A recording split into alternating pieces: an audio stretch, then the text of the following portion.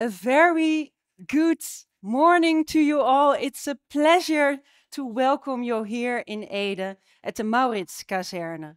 My name is Jasmijn Mioch. I will be the moderator of today, and you are here at the Festival of Recognition and Rewards. I spoke to some people here in the audience this morning, and I asked them, What are you looking for today? And a lot of you answered, Inspiration. Some of you answered, I would like to know a little bit more about the program. I'm new in this field. Others said, I am looking for small actions to create great impact. And I hope you will find everything you seek here today. Before we start with the very interesting program, I would like you now all to take a really brief moment for reflection.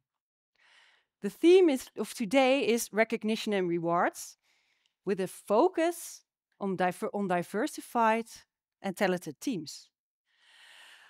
So take a moment to arrive here in Ede at this festival and take a moment to think about a team you are part of yourself. You can close your eyes if you like. You can look at the point on the ground and think of a team you are part of. What is your role in this team? What does this team looks like?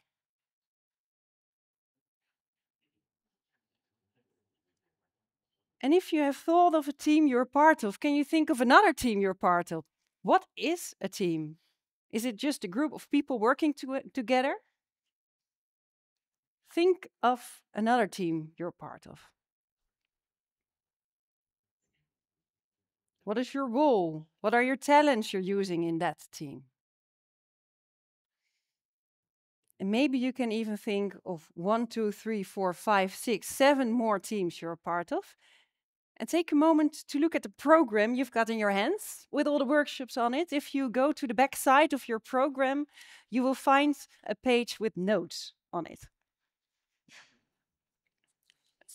The workshop sheet, you've got it all, you found it all in your chair and you have some several pages with notes. And I'd like to invite you to write down all the things you have been thinking about during this day, so you can remember that and tell them to your team back home or back at your work. A small game we are going to play before we dive into the program. Write down as many teams you can think of on your notes. Can be a team at work, can be teams at home, maybe a hobby. So take a small moment to write down as many teams as you can think of. It's a game, so try hard.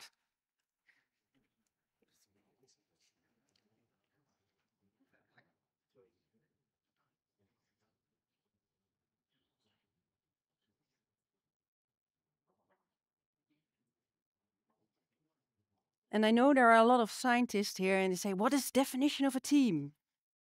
Yes, what's the definition of a team?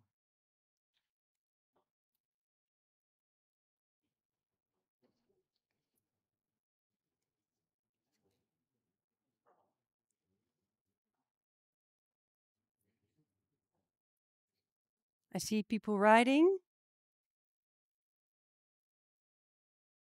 I see people thinking.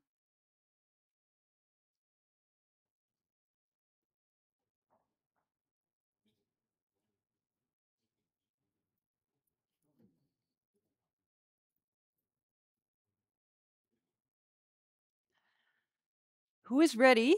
Raise your hand. Who's ready with writing down? I think you'll need some more time. I see not see all the hands. Yeah. We'll take one more minute. Write down as many teams as you can think of.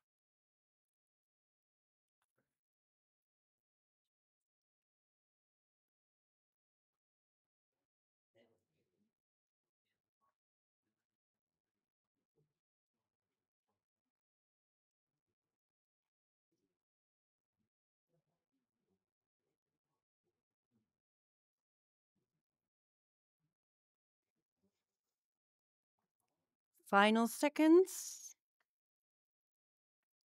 Yes. All right. Thank you. Now you think, what's the game? You can all rise, please. I would invite you to rise. And you're allowed to sit down. So if you had zero teams you could think of, please sit down. Zero teams. Who had one team who could think of? Please sit down. I think we have to move further. Two teams. Four or less. Six. Six teams or less. Eight. Okay, we're coming closer. Ten or less teams, please sit down. Twelve teams. Okay, 14 teams or less. All right, all right. Let's see. We've got some three finalists. Thank you very much. And, and let's see if we can start this. Can I start this? Olaf? Yes. Let's see. Is it on? Yes. Let's go over here. You've got more than 14 teams. What's your name? Leon van den Broeke. What theme is really important to you? one of the themes that is really important. One think of one of the themes. Center for Religion and Law. Wow, this is a lovely title. What makes it so special? Um, it's a collaboration uh, in a multidisciplinary setting of theologians, religious scientists, historians, political scientists, and very much jurists. Thank you very much. A collaboration of so many different people. So we've got Leon, thank you very much. And over here, we've got. Hi, Martijn Gerritsen, Radboud University Medical Center. Can you name one of your favorite teams and what makes it so special? My family. Wow, this is really a strong appla applauding for that. Yes, over here, finalist. We've got Leon and your name was again? Martijn. Leon and Martijn. And we've got Laura over here. From TU Eindhoven, and I'm here with my colleagues today. Personal grant support at TU Eindhoven, and they are special to me. So she's here with her colleagues from TU Eindhoven. Thank you very much, Laura. And final finalist, Candy Rowe. You're one of our keynote speakers. like teams. You're like teams. So a big applause for all of the finalists, Leon, Martijn, Laura, and Candy Rowe. Woo! And I know you're all, oh, I don't have to use it. Um, I know you're all part of teams. We all know that. And now I would like all of you to find somebody new here in this room and answer the following question with one person. Reflecting on the teams in your life, is there one that feels particularly rewarding and why? So take two minutes to find someone new here in this room and just reflect on this question.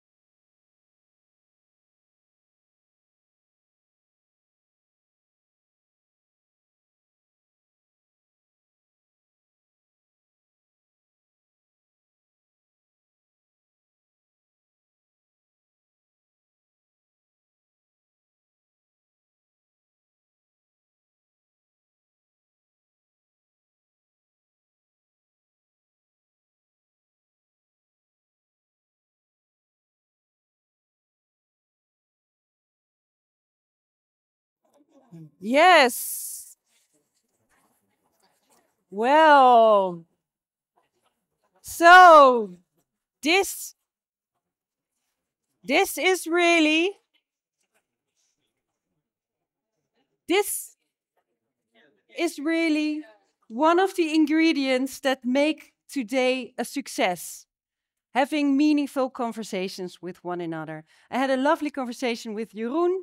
He told me about his colleagues, his former colleagues from Utrecht University, and we had really meaningful conversations. And that's my wish for you today having meaningful conversations with one another. It's now time to continue with a meaningful conversation of the theme of today. And I would like to invite Benthe van Wanrooij, Jeroen Geurts, and Kim Huijpen on stage.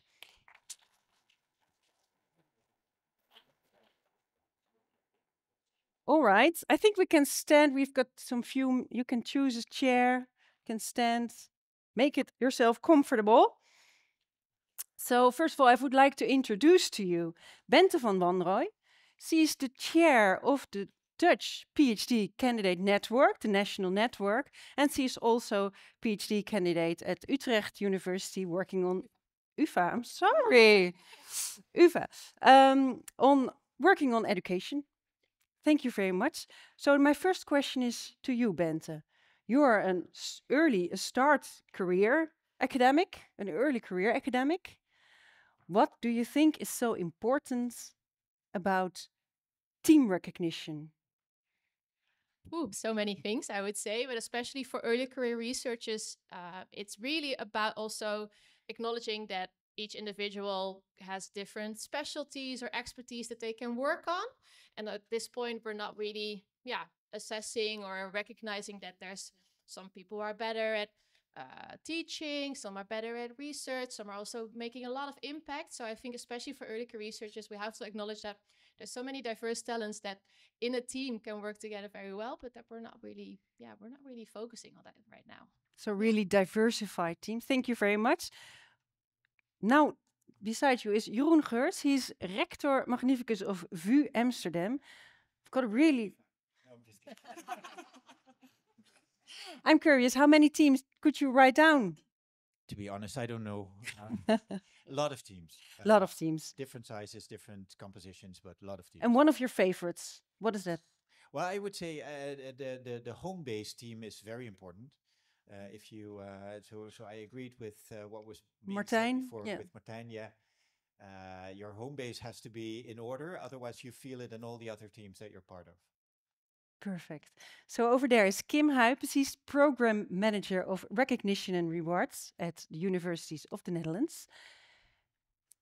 Kim, what do you wish the audience today to to happen to experience here? Yes, and I uh, yeah, my home base work-wise is Universities of the Netherlands, but with our recognition and rewards program, we uh, of course work for universities, university medical centers, research institutes, research funders, uh, and the Royal Academy um, um, in the Netherlands. So we hope to, yeah, in one way work together all um, as a team. Um, and what I hope for today, because it's the fourth Recognition Rewards uh, Festival, um, the second one in real life, so we can really, really connect. And uh, that would be, um, I think, my first wish. Um, for you to connect uh, with each other, and it could be in this room, uh, in the workshops, uh, in the in the breaks, um, but also afterwards. Um, so that's one of the reasons why we developed with our team um, this workshop uh, booklet because uh, you can also, I think, and I hope actually for today is that you that it was very difficult for you to choose a workshop hmm. because mm. there were so many great workshops uh, and that you might be able to connect with so uh, with one of the um, developers from another workshop after uh, this festival and we also have our community platform uh, review um, and you can also connect afterwards uh, as well. And yeah, next to connecting, I also wish that you will be inspired um, both on the content level, perhaps by the words or the narratives we use, but also inspired by the tools and the methods used and um, in the workshops. So inspiration, and that's also what the people here are looking for. Thank you very much. Since visuals, graphics, photos sometimes say more than thousand words, we asked you to give us a picture. And I think we will have Benthes first. Could you tell us, could you explain us why you chose this picture, Benthe? Yeah. Uh, terrible quality picture because at often at these events that you organize, you tend to forget to make pictures if you're super busy, which you notice. But uh, I brought a picture of one of our PhD organization days of PNN. Uh, we're a national level network, and we find it very important to bring together all the PhD representatives from all over the Netherlands to well inspire each other, see each other, meet with each other, and also acknowledge that what they are doing as a PhD representative, one of the things they do alongside everything else they are doing in their research, that we also yeah acknowledge that what they are doing in as which is not always recognize as part of their PhD, that it's something that we value and that we enable them to do that work very well. Uh, so that is why I brought this picture, and it al also closely connects to an essay that we published yesterday on our website, where we see that we want to diversify how we assess PhD uh, trajectories and also the final um, yeah, the final assessment, how do we also acknowledge and see that things like this or things like this where PhD candidates put in time and effort, that that's also part of what we find important and that we, yeah, I think it's very important that we acknowledge that there's so many hardworking people doing these things or impact or other types of valorization alone, but also a lot in teams. And I think that's, um, yeah, that's very important for us to acknowledge that better. And also, yeah, why I brought this picture. Thank you very much. Let's continue to the anecdote of Jeroen Geurts.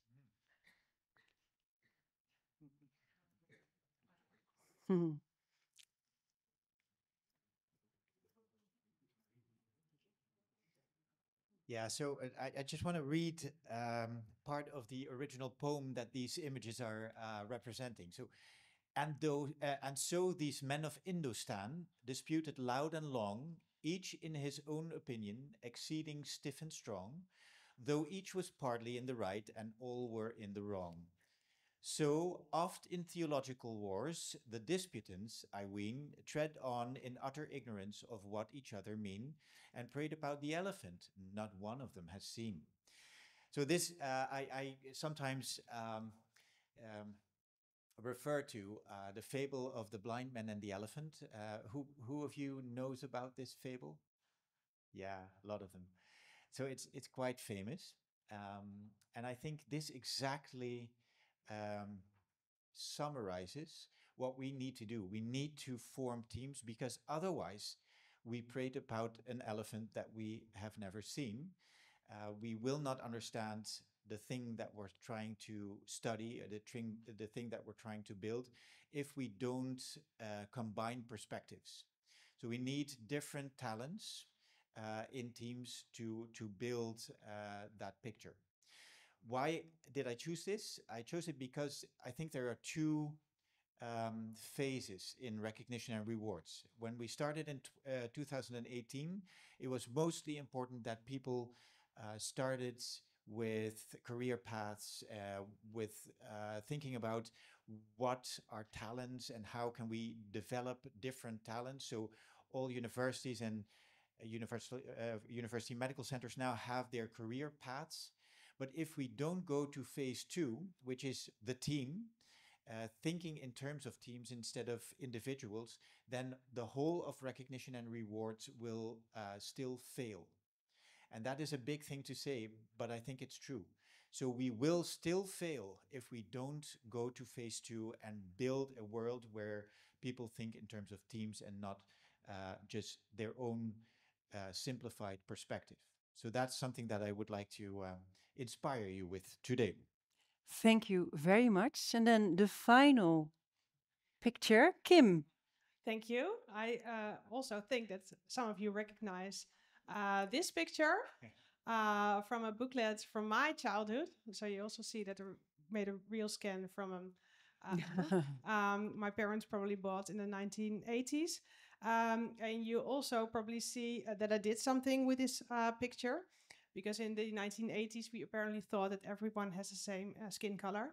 Um, but that's actually not true. Uh, and being an aunt of a little nephew uh, of color, um, I more and more realize how important it is to, uh, yeah, show color, not only in children's books, but everywhere. So that's part of the story. But you also see musicians, of course, and this book is about an orchestra. Uh, and every musician has a different talent, plays a different instrument. But playing in an orchestra uh, also is about listening to each other. It's also about um, making sure that the one sitting next to you um, will be heard. So enhancing the the the, the musician uh, with you in the orchestra. And I also think that that's really important. Uh, of yeah, working together in a team um, is that not everyone should be the star of the show. Uh, it should be that the orchestra, um, that you together make this very, very beautiful um, sound, that you play very beautiful music together. Um, so that's what I also hope for uh, working together in academia um, is that it will be more about what you do together uh, in research, in teaching, in impact, in patient care, in leadership roles, um, and that not one of these specific talents is more important than the other. Thank you very much for sharing these stories. We will have plenty of time to get inspired today and work together in harmony. Thank you, Jeroen Geurts, Kim Huijpen, Benthe van Wanrooij.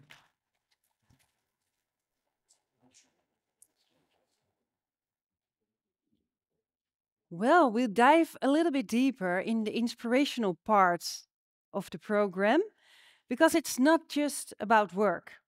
It's about the spirit of collaboration, constructive challenge, and a shared drive to make a difference. That's the belief of Karen Stroobants. She is the director of Culture Base and vice chair for the Co Coalition for Advancing Research Assessment. And she was a very proud member of the drafting group for the Agreement on Advancing Research Assessments. Karen brings a perspective shaped by both professional passion and personal teamwork. Please join me in a warmly welcome for Karen Stroobants. Karen, the floor is yours.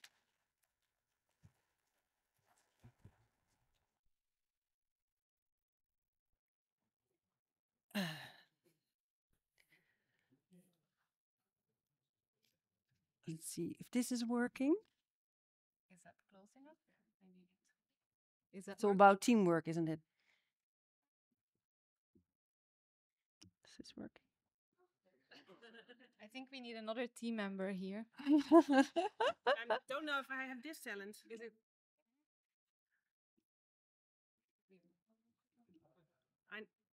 Probably, or I can hold it for you. I think we're, This is I think we're, is that, can you hear me? All right. Perfect. Thank you very much. Thank you for the kind introduction and for the help with the setup. So first, maybe two caveats before I, I read the column. The first caveat is um, that I think I've diverted slightly from the title in the program, so I'll just give you a new title in a second. Second caveat, I did not coordinate with Kim on the picture she was just discussing, so just nice coincidence as you will hear about in, in a moment. So the kind of new title I chose for this column is The Sum Plus Team, More Than the Sum of Its Talents. Reflection is such a central part of recognition and rewards.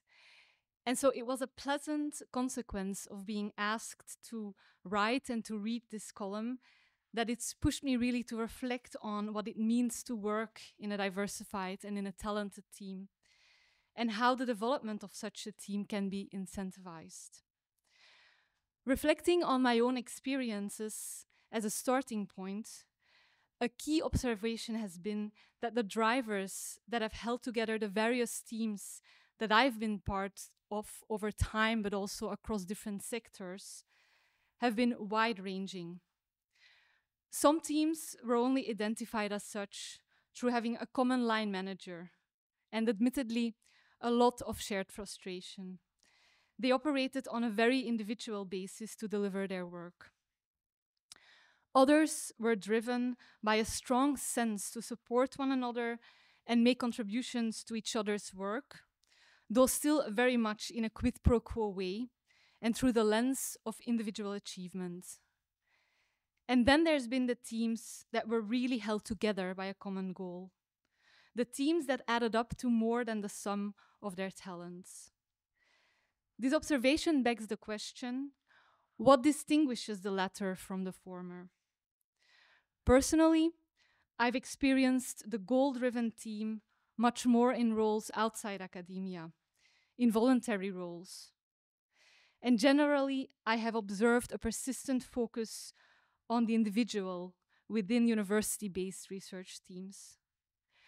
So, assuming my anecdotal understanding has any representative value, two options seem to present themselves for those who would like to be part of a team that's more than the sum of its talents. I continue to refer to this as a sum plus team. Either look for a role outside academia, and not just any role, you'll have to be very selective there as well, or contribute to a culture shift away from the individual and towards the sum plus team within academia. Given the audience today in this room, I suggest we focus on the latter. As a starting point, let's explore some of the characteristics of the Sum Plus team, and then delve into how changes to recognition and rewards can enable these. To more clearly illustrate what distinguishes a Sum Plus team, I took inspiration from Dennis Sherwood, who in one of his blogs describes a high performing team through comparison with a football team or an orchestra.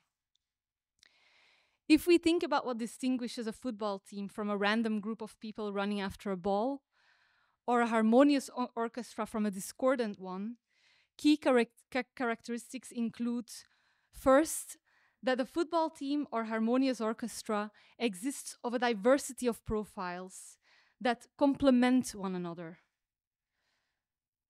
The goalkeeper has vastly different skills from the striker, and the violinist has been selected for very different strengths than the drummer. And second, that it is steered by a manager or a leader who can think strategically about the competencies, talents, and backgrounds that are required to form the SumPlus team and bring together that team around a common goal. The success of a football team is often associated with its coach, and no orchestra takes to the stage without its conductor. Building on these two key characteristics, I'd like to finish with a few concrete suggestions aimed at those in the audience who are responsible for the recruitment, development, and fostering of teams, with Sum Plus potential, dare I add. And if you aren't in a position to do so today, please hold on to these recommendations for when you might be in the future. First, I recommend that funders, institutions, and departments give more weight to the people management competencies of the team leaders they hire, promote, and fund. The assumption seems to prevail that a good researcher by default develops into a strong team leader, while the competencies needed to deliver on these roles are vastly different. A good striker will not always be a good coach, nor is a good tubist necessarily a good conductor. More efforts are needed to ensure that where management competencies are required to deliver in a role or on a project, this is reflected in funding, recruitment, and promotion criteria. This should include selecting for leaders who are able to set a common goal and strategically think about which skills and competencies are needed to deliver it.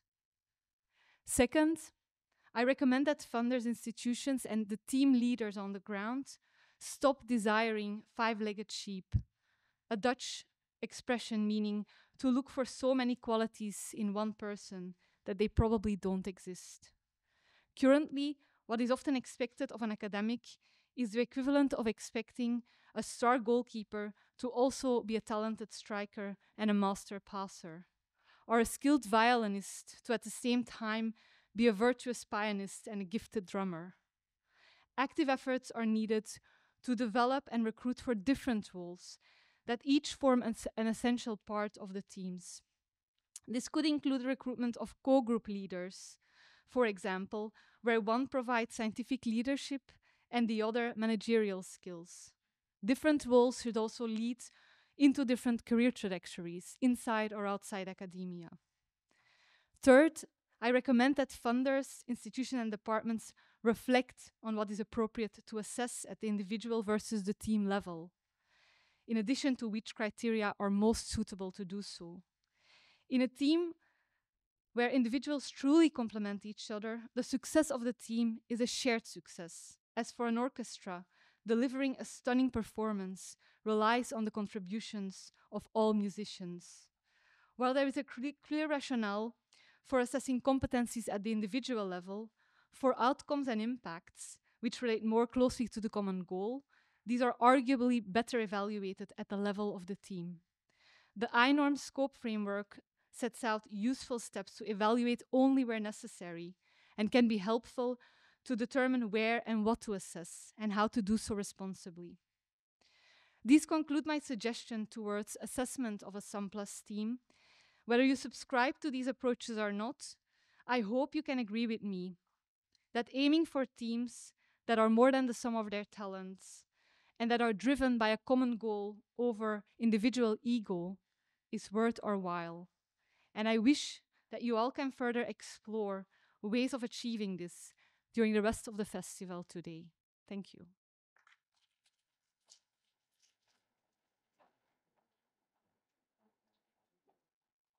Thank you so much. We will continue with a panel dialogue. We will start exploring what team di diversified teams means. And therefore, I would like, first of all, to introduce to you. Let's see who we've got here. I pronounced it, I've practiced it so many times. Sean Sapcariu. And there we've got Sanli Faez.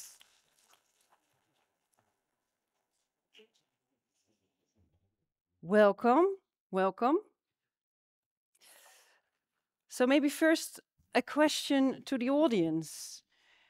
Do you know there is a center for unusual collaborations? Yes, I didn't. But who knows is definitely knows is Sanli Faez here. He's one of the fellows and he's really striving, trying to contribute to accessible and sustainable academia. Open source, hardware of open science, that's really what you're into. What does unusual collaboration means? Yeah, there is one in the spirit, uh, which is that you usually do not see. Uh, that's the collaboration means. In this case, means transdisciplinary and cross-disciplinary collaboration. But then the people at the center, because they have to have practical measures, they also have defined unusual collaboration means that you should have people from three universities from three different disciplines. So it's a bit of mechanistic definition for practical purposes. Should it stay unusual forever?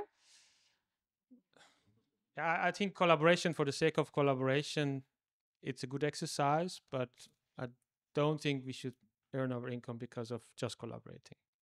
Thank you.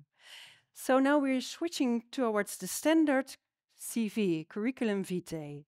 So that is actually not the best way to select the best candidate, or at least that's, that's what Sean Sapcariu thinks.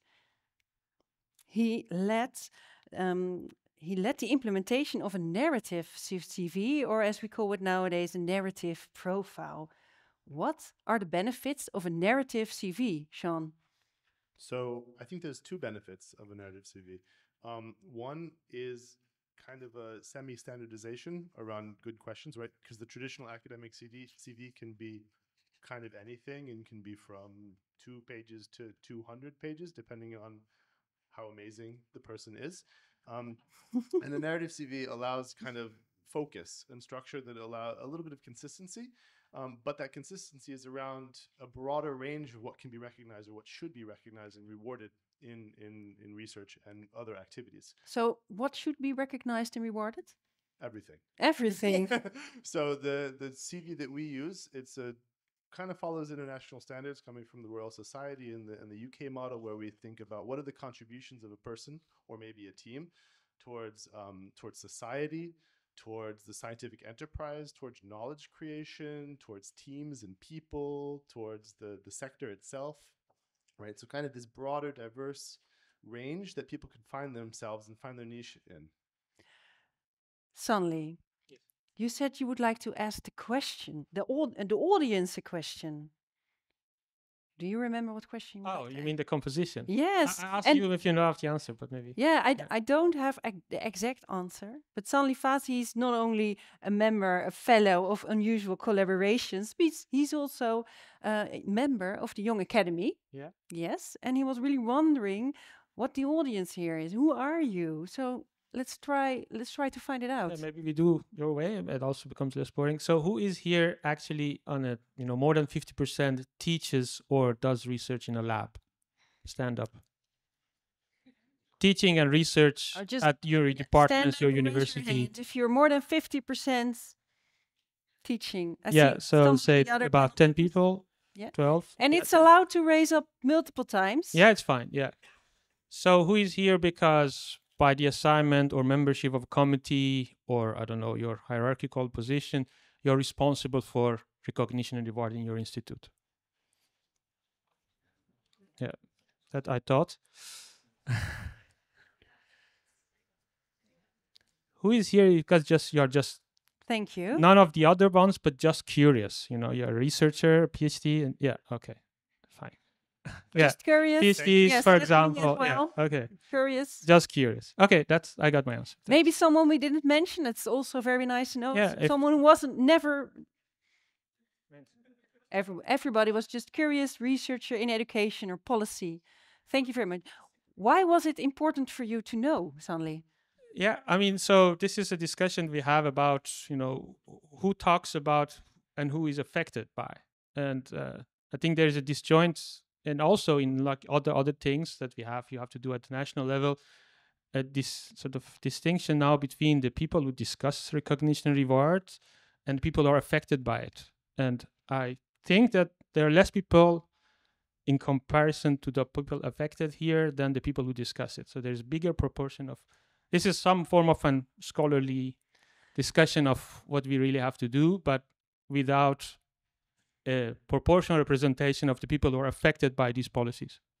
So the people who is who, who we're talking about should be present here as well, and they are. Yeah, You I are don't know if they can. There are twenty thousand people probably or so. It's not possible. And twenty thousand tasks. we should be just aware that there must be at some point some way of really, really asking them what they are affected by and Mhm. uh, how they are affected by, and don't think that if we agree with each other, they necessarily also agree with us. So back to Sean, you are a program manager. So you're not a researcher yourself anymore. Have you been a researcher ever? Yeah. Yes, yeah, thought so. You're a program manager at the Luxembourg National Research Fund. Do you talk with researchers?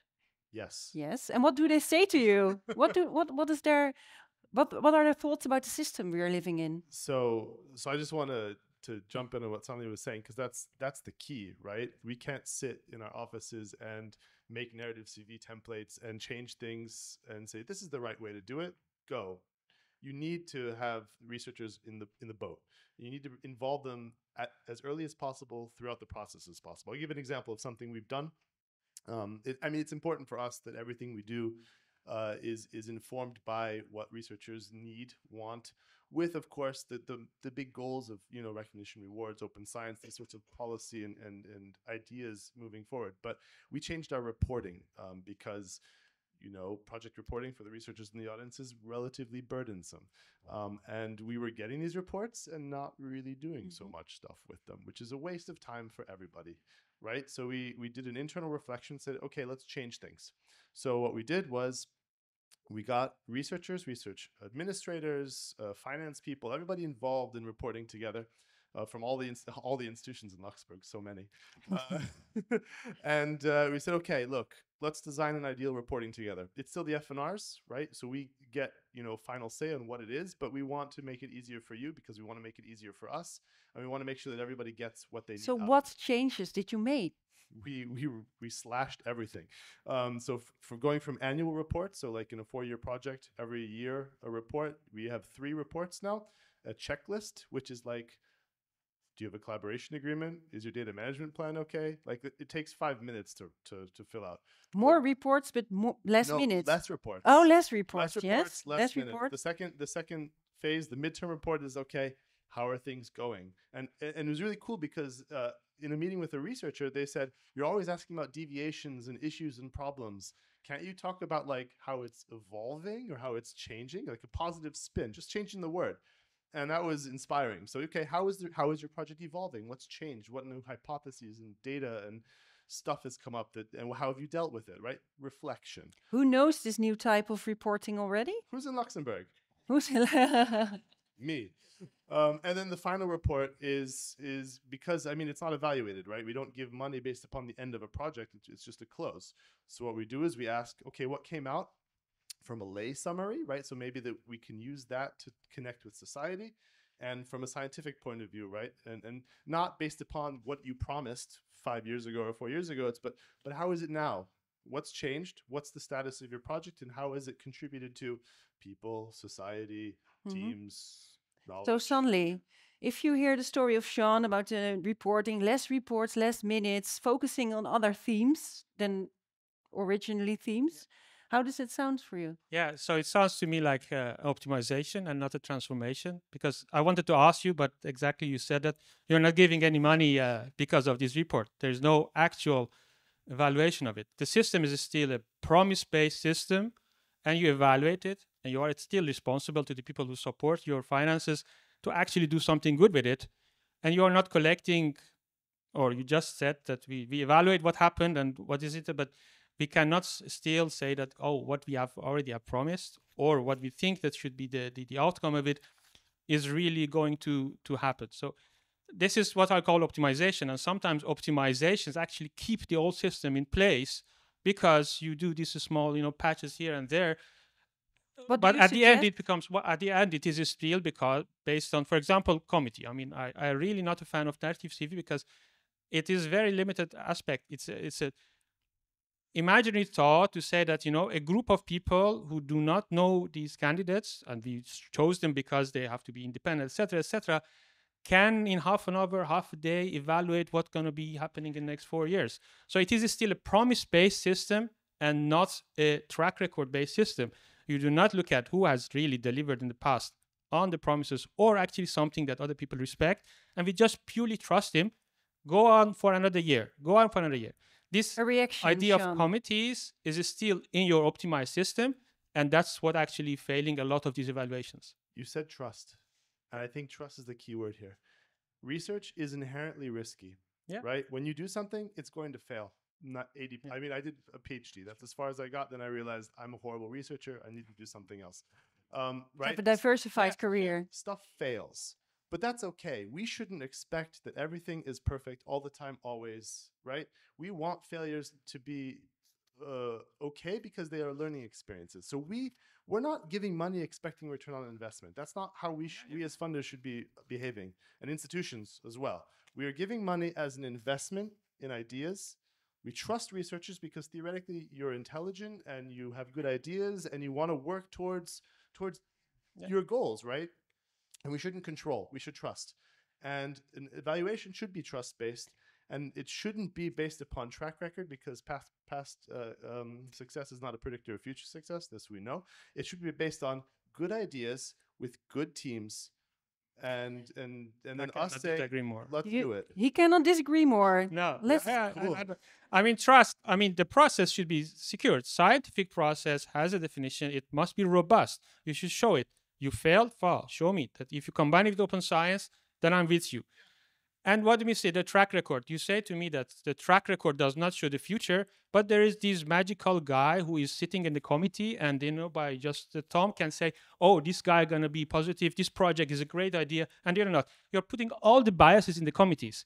The committee is not going to save it for you because exactly it cannot define what's the future success.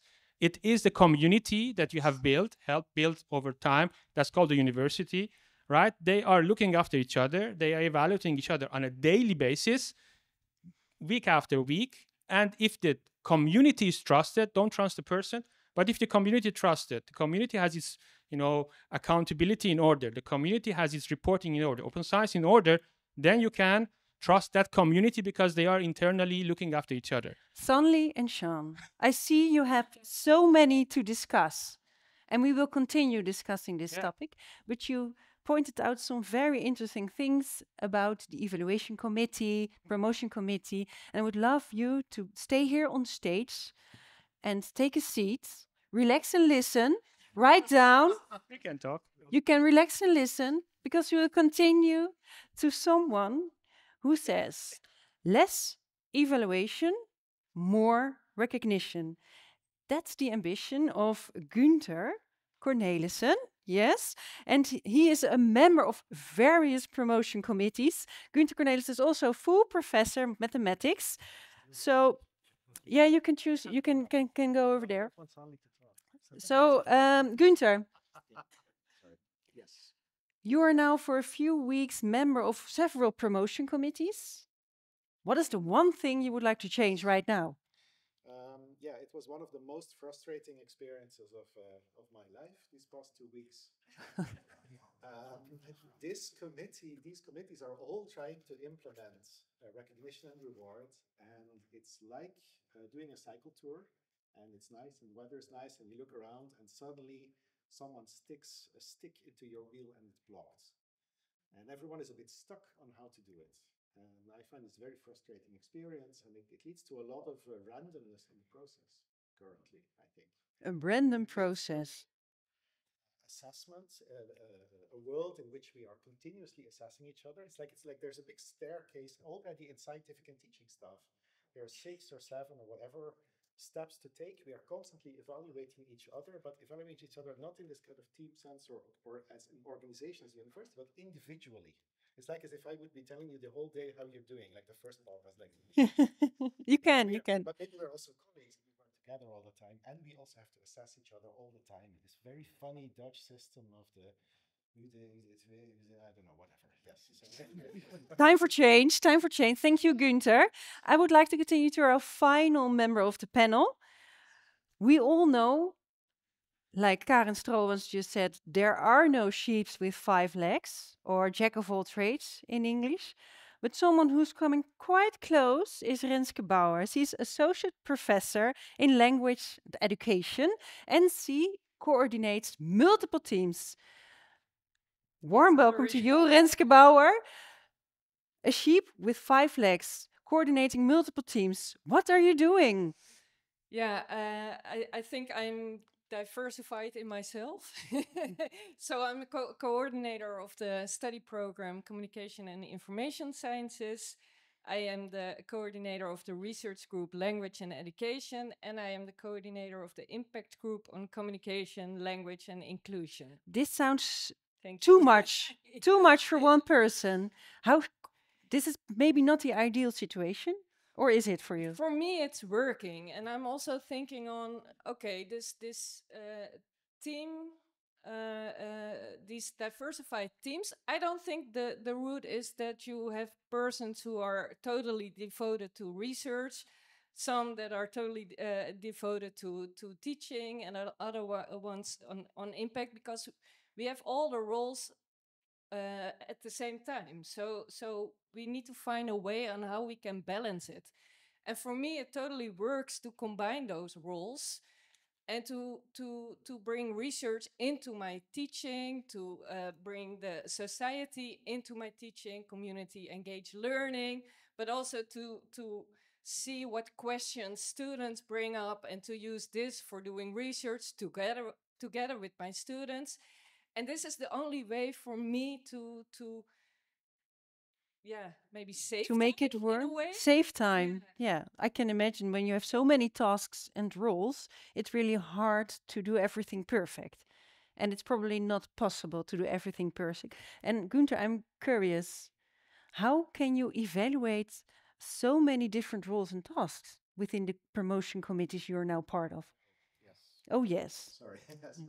very difficult. We try to actually look a bit at this individual talent uh, uh, area, not the five legs, but a few legs. A few legs. But once you start to think about it, it becomes very difficult on what is your main legs, what is the minimum what is the maximum, what compensates what's in the entire system. And I would actually propose like to to not think about the next step to take in recognition and rewards, but to step back a little bit and look at what we're doing, actually doing. Um, uh, to, I was going to say with, but I'm going to say to our employees uh, by doing this, and how are they experiencing it, and how is it currently being done? And, and Stans and I in Utrecht have this project of going to actual mid-career promotion committees and see how they they're functioning and we already discovered that some of them don't exist. This was a big, big discovery for us. What is what Yeah. what what don't exist? Uh, a, a promotion committee that uses uh, uses recognition and rewards for mid-career in certain faculties. Yeah. Yeah. So it's, it's I mean we're still far away from it. Sometimes it Mhm. doesn't exist, but when it exists, it can have a lot of positive things. We're going to try to catch the positive message, but we're also going to try to catch the the, the this kind of uh, the stick in the wheel hmm because I think a lot of people struggle with this also at that level, like evaluating it. For example, evaluating a team. If I may give an example of this, today is about team science, and how are we going to somehow combine the aspect of team science with this system, which has a very individualistic evaluation uh, criteria. So it looks at a person. A person is going to get promoted, not a team is going to get promoted in the current setup. And how are we going to somehow take this into account? What is the most important thing? How are we going to to uh, to promote a team? And how are we going to have di- a diverse set of people in such a team? So there are a lot of questions. Yes. Are you able to already answer some of those questions? I, I was thinking about one thing which I would really love to do.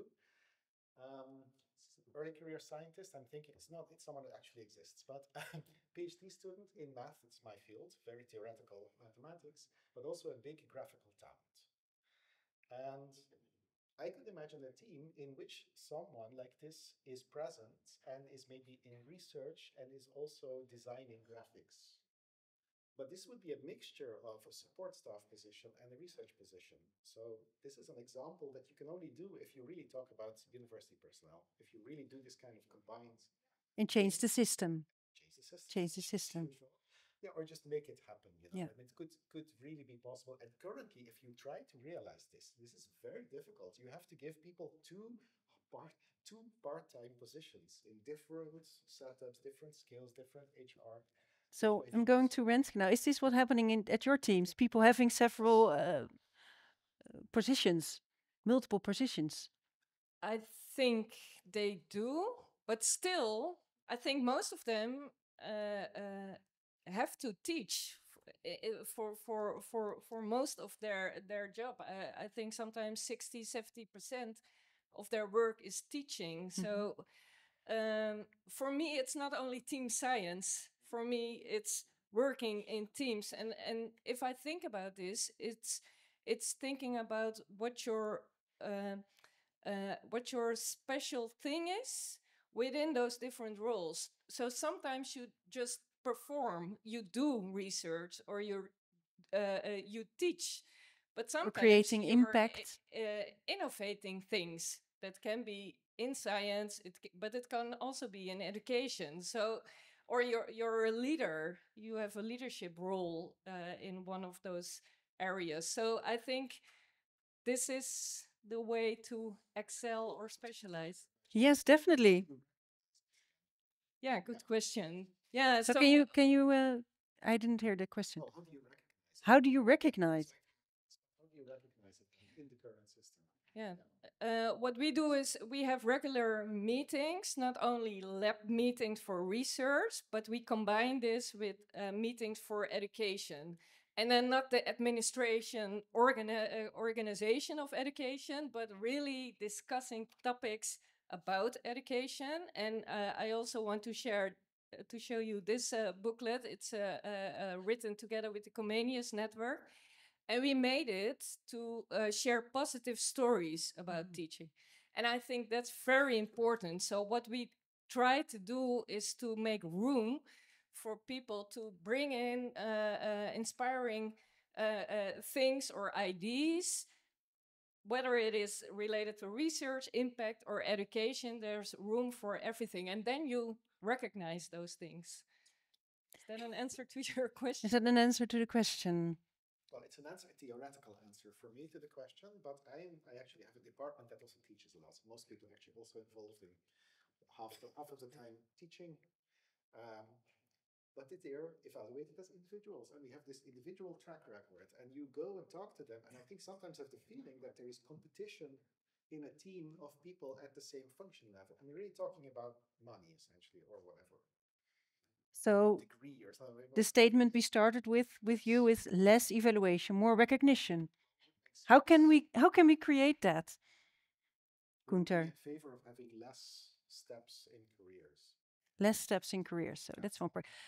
I see there are some questions in the audience. So let's turn to the audience. You can ask questions to all the members of the panel. And I think I'm just going with this one. Yes.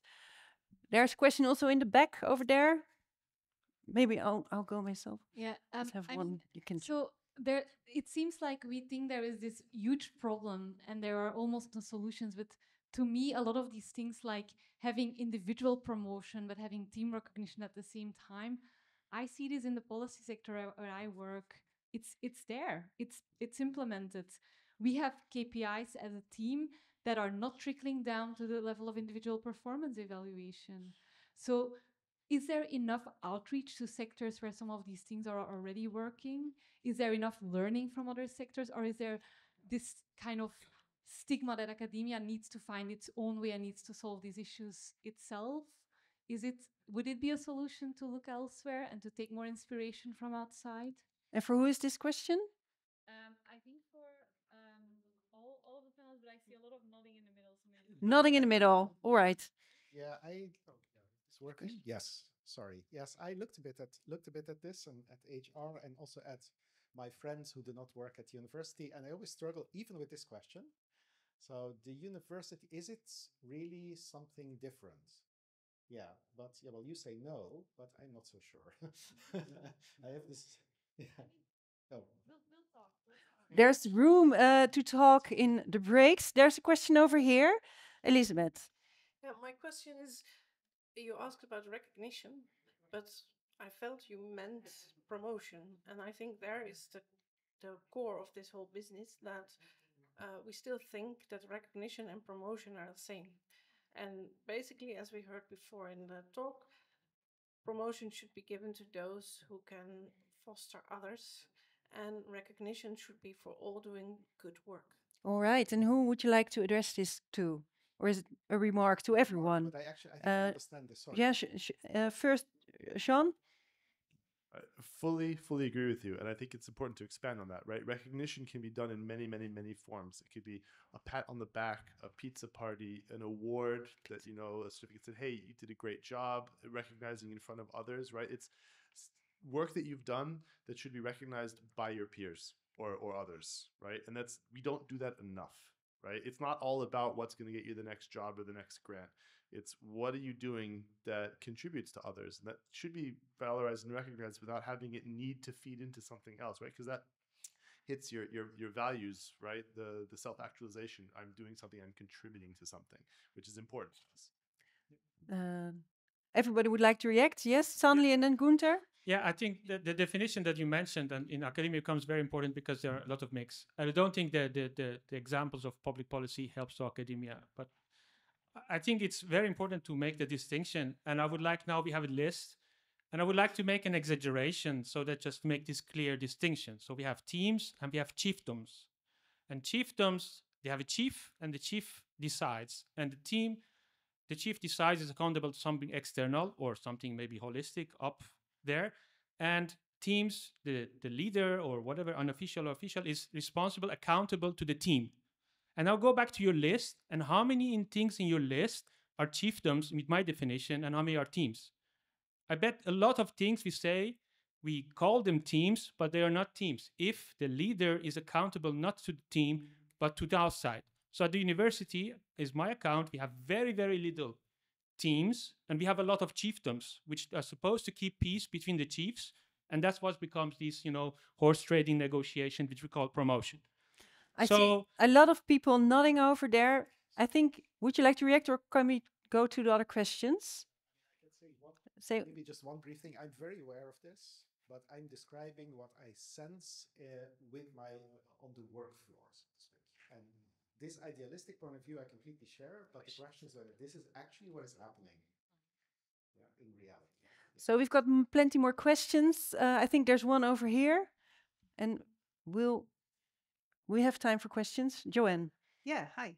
Um, thank you, Gunther, for what you said. I completely agree, and I'm so glad someone said it out loud. And I think if we start talking about recognizing individual talents in the example you gave, um, for example, someone with graphic uh, skills, graphic design skills, there are so many different talents around. And in order to recognize those and then take advantage of them, we need to trust the leader of those teams. So it comes down to a sort of inbuilt trust for different teams to take advantage of the different skills. So my question is, what has to change and at what level in order to allow team leaders to build these kind of talented teams and respect all the skills that are in those teams? Where where does that change need to happen? Gunther. I think the question Can was I for Gunther. Oh, yeah. Renske. Yeah, Uh, definitely. I think we need time. Time for good leadership, but also time for leaders to to uh, um, and and the team to really uh, act act upon this. And I think uh, another another uh, very important thing is to recognize uh, the profession of things. So we all see uh, uh, the, the the the profession in uh, as researchers, but for education, I think we we still have a long way to go to to recognize the profession as teachers, and that also needs that that leaders should be able to to devote time in which you can craft your uh, uh, education. Leadership, trust, and time. Uh, Sean. Very shortly, trust comes top down. uh, In, in essence, right? So university leadership needs to trust the professors or the, the department heads or whatever that they that they hire the, to do the job that they were given to do without too much micromanagement. Those leaders need to trust the people that they hire to do the parts that they were done without too much micromanagement. As soon as that that, that trust chain breaks for whatever reason, that's when you know the poop hits the fan. There's a question over here. I saw. I'm. Who was over here? There was one. I just saw one hand over here. So if not, we. Oh yeah. Uh, yeah. I think Jeroen. Yeah. I was just thinking about the, the, the concept of leadership. Uh, I'm not sure that we need only invest in group leaders. I think that the ideal situation would be that we have a group that is sort of so, um, you know, well versed in leadership on every level that the group leader doesn't matter that much anymore. It's the group that governs itself, uh, that leads itself. Um, and, and diversifies uh, its roles. So um, that's one thing. The other thing is um, sometimes we if get lost in uh, questions of how it should be done. How do we build a diversified team? Do we have the criteria? Do we have the the um, let's say the the sets of rules? But I would be much more in favor of the uh, spirit of the law than the letter of the law if we want to have teams, and my big question here would be why must we work in teams? Why must we uh, focus on teams? Because some people might not be convinced that that is what we should be doing. But if we are convinced that that is what we should be doing, then I would say the rules of engagement of building teams and the spirit of the law is much more important. Just pile it away, just try things uh, than making sets of rules again, because we'll we'll go back to a system or we'll replace a system that we already had and, and weren't satisfied with. So less rules. Would you like to answer any one of the, the Sanli? I, I- I don't know. I mean, first of all, leadership. This is one of the hard words. I come from a country which has a supreme leader, right? It's called Iran, and you know sometimes the leadership brings me sort of really yokes. But there are two meanings to leadership, and it took me actually quite some time and investigation to find out what the leadership in the recognition reward position paper mean. There's a leadership of you know follow me and I will bring you to uh, Valhalla or I don't know whatever that's pray. And there's also leadership of motivation. You know, taking seeing a problem motivating yourself to stand up, come out of bed, and solve that problem. That's personal leadership, and that's actually thing that I guess what's the rewarded. It always confuses. In all this evaluation committee, they confuse them completely from each other. You know, for my evaluation committee, leadership means have you been in one of the teaching committees, or Mm. and if it is outside the department, doesn't count because we need leadership here. So that I do want to emphasize the, the the rules. I think it's very important to look at the rules, to look at the structures, and really from outside be able to evaluate them. I mean, the orchestra was mentioned as it, and my friend plays in the orchestra. In the classical orchestra, it's horrible. You don't want to be in that. She told me she's the second violin, and the second violin never talks to the conductor. Only the first violinist is supposed to do that. It's horrible place. It's not a jazz concert, you know, street dance. Hmm. It's or there was another example, you know, football teams. How much abuse we have in football teams with the coaches. So th- there is there are sort of teams that you will lead from outside and the other teams which are egalitarian. And back to the question, academia is a creative environment. You cannot, you know, force creation to minds. They have to be inspired and they have to feel that they are going for something that is valuable for them. And that needs requires a different flat organization, requires equal say.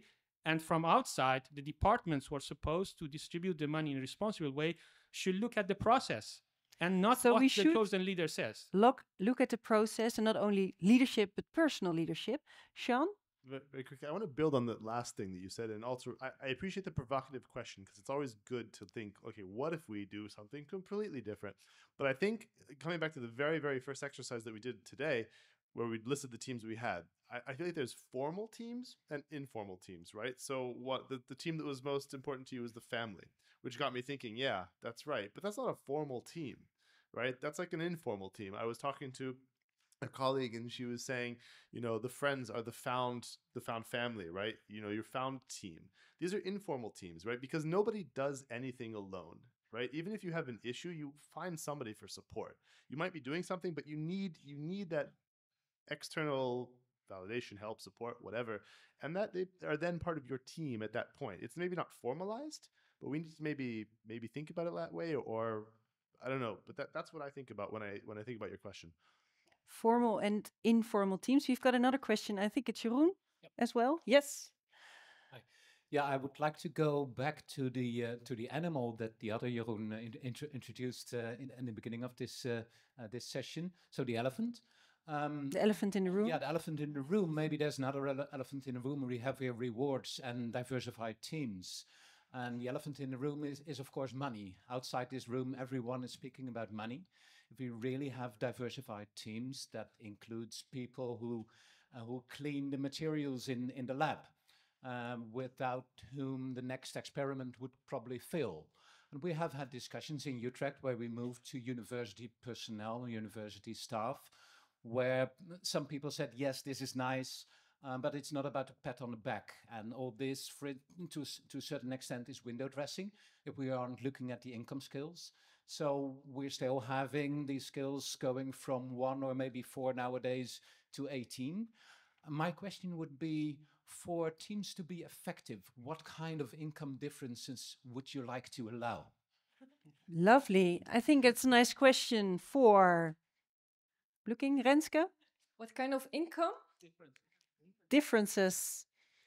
Uh, so your question, what kind of differences for teams are Yeah, important? I have an answer. So I have written a recently vision. I would say for the public, it would be between one and three times the modal income of the country. That's the range which is acceptable for me.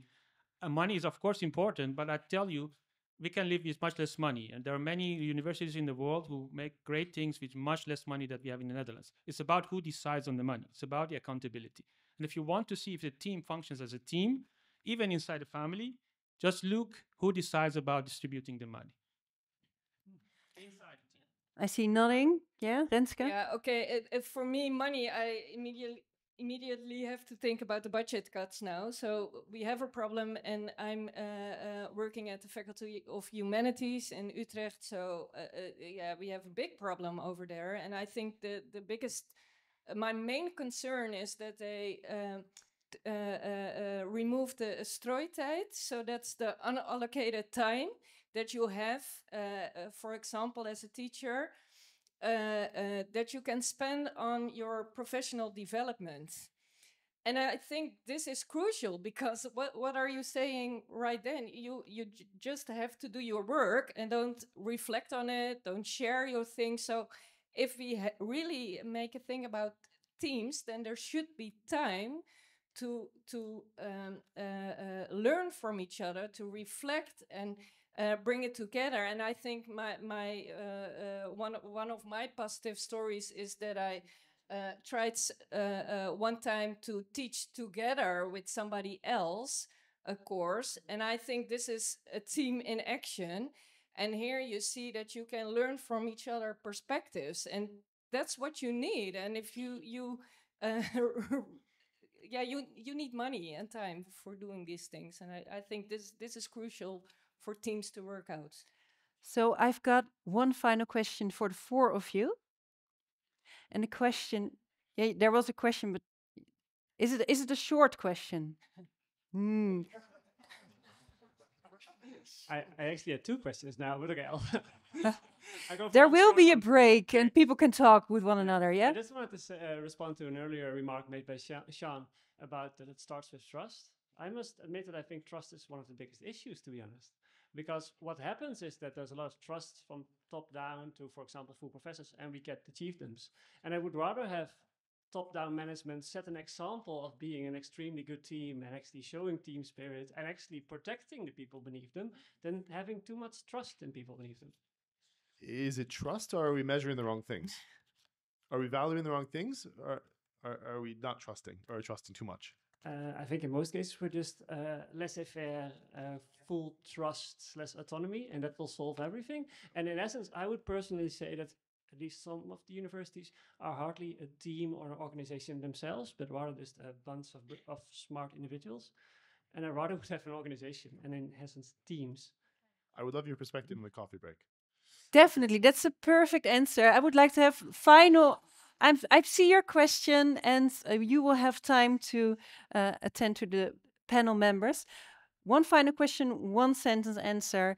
What do you wish the remember uh, the audience to remember from this topic?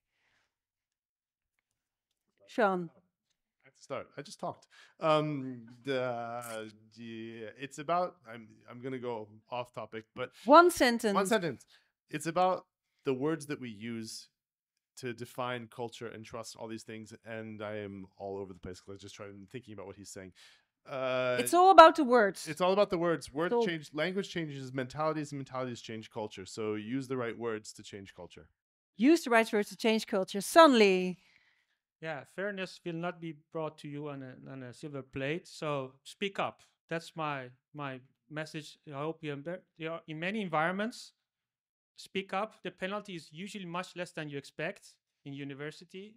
You will not be punished. You might be even invited to stage to speak up in. I hear a lot of reactions on that, so that's not probably a speak up. discussion worth. But speak up, Gunther. Yes. Um, I would actually really like to send a positive message. My whole experience is that working in a team is very, very rewarding and makes you very happy. And I would really love it if the university would be an environment that encourages this rather than discourages it. Thank you for the positive closure, Renske.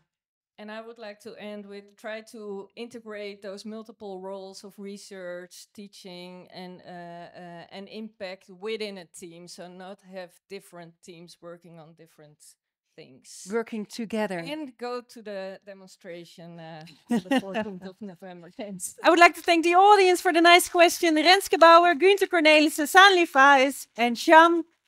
And I will say it right, Kopachu. Thank you very much.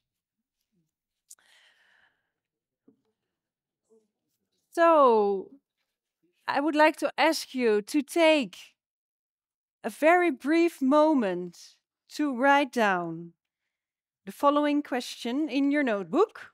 It's just for you. Write down three insights you would like to remember. It's just for yourself. So, write down in notebook three things, three insights you would like to remember.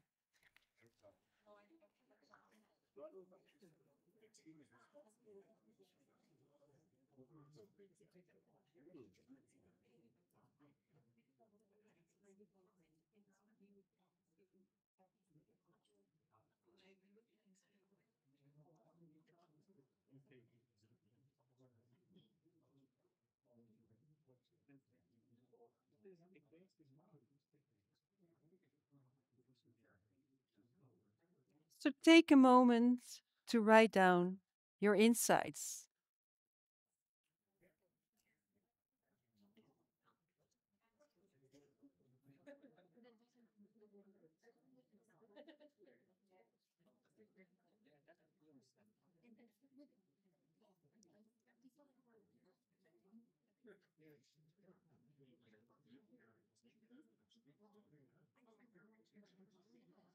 So, before you can enter the coffee and tea area, I have some small announcements to make.